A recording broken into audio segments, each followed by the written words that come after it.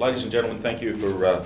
joining us this morning. Um, it's a uh, it's a great day when I get a chance to recognise the work that uh, our retired officers um, have done over many many years and the contribution that they've made to uh, our organisation.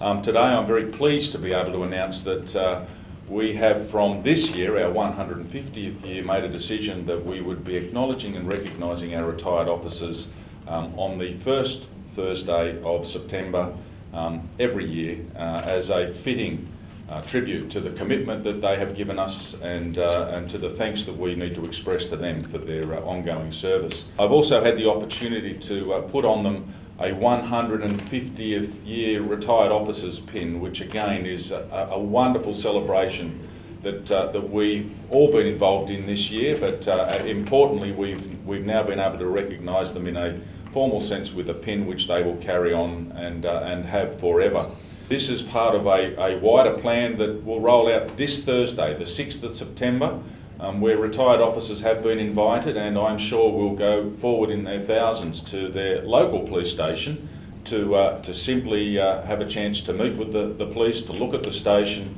to uh, be acknowledged as retired officers and generally to, uh, to understand that they are important to us as an organisation. You don't realise how important the organisation is to you, whether you're in the job for one or two years or you've been in the job for decades. When you leave, uh, for many officers, it is very difficult for them to uh, be able to pull away completely. And this Retired Police Officers Day will give those officers who have retired, who still want to maintain their connection with policing, simply walking into a police station and sitting down, having a cup of tea with the next generation of law enforcement officers in this state is in fact a completion of a circle for many of these officers. They join very young They've now retired. They're in their twilight years, but they still remember fondly the victims that they helped, the crimes that they solved, the villains that they incarcerated, and to have that opportunity to talk to the next generation of police officers for many of those police who've retired will be a missing piece in the jigsaw of life. Uh, like each of my colleagues behind me and, and those who are represented here in spirit, I think if we were all 19 again,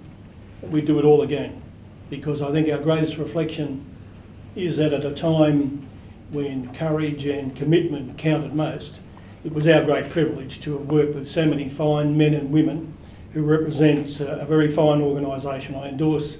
the, the Commissioner's comments uh, about the organisation. We are all biased to that extent. Um, and we would hope that the contribution that individually and collectively we've been able to make um, represents the New South Wales Police Force today.